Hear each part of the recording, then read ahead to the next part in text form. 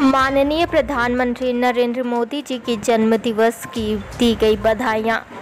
प्रयागराज में आज भारतीय जनता पार्टी युवा मोर्चा द्वारा देश के यशस्वी प्रधानमंत्री नरेंद्र मोदी जी के जन्म दिवस में 17 सितंबर को बड़े ही धूमधाम से मनाया जाएगा, जबकि पूर्व संध्या पर शिवा पांडे, युवा मोर्चा जिला उपाध्यक्ष जी ने अरैल घाट पर मोदी जी के चित्र का केक काट कर मनाया गया। इस मौके पर कार्यक्रम के मुख्य अतिथि ओमकार केसरी जी रहे। कार्यक्रम की अध्यक्षता जिला अध्यक्ष सुधाकर पांडे जी ने की। कार्यक्रम का संचालन जयव्रत सिंह ने किया।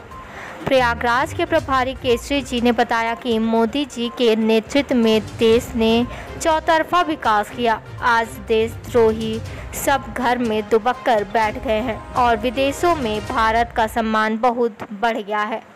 सुधाकर पांडे ने मोदी जी को देश की अखंडता और विकास को बढ़ाने के लिए धन्यवाद दिया।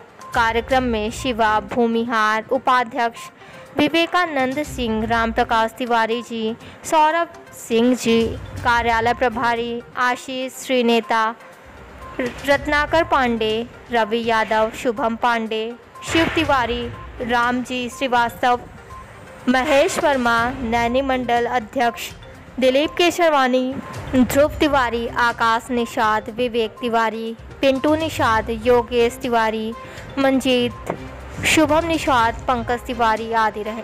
प्रयाग एक्सप्रेस न्यूज़ के लिए रामबाबू पटेल की खास रिपोर्ट।